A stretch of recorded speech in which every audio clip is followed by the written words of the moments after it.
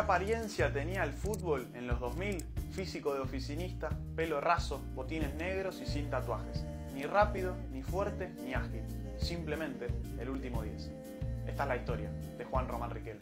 Nació en Don Torcuato en el 78 en una familia humilde y fanática de Boca. En su infancia respiró el aire más puro del potrero que de grande le soplarían la cara al mundo entero. Club Parque y Argentinos Juniors lo formaron, River lo quiso, pero su gambeta era de oro azul y oro. En un presagio casi mágico, la bombonera lo ovacionó el día de su debut, como si los hinchas supieran que en su pie escondía las noches de gloria por venir. Heredó la 10 de Maradona, salió campeón de Argentina, salió campeón de América, salió campeón del mundo.